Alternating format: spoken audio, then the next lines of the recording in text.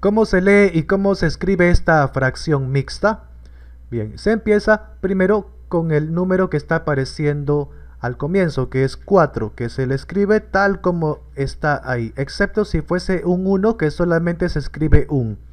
Ahora, enteros porque no forma parte de ninguna fracción. Y ahora viene acá, el que está arriba también se escribe tal cual como está, excepto si, es un 1, que se pone un nada más. Ahora, cuando hay un 4 abajo, aquel cuadrito dice que cuando hay un 4 abajo se escribe la palabra cuarto. Así y como el de arriba es mayor a 1, se le tiene que agregar la S de plural. Y listo, entonces tenemos 4 enteros y 3 cuartos.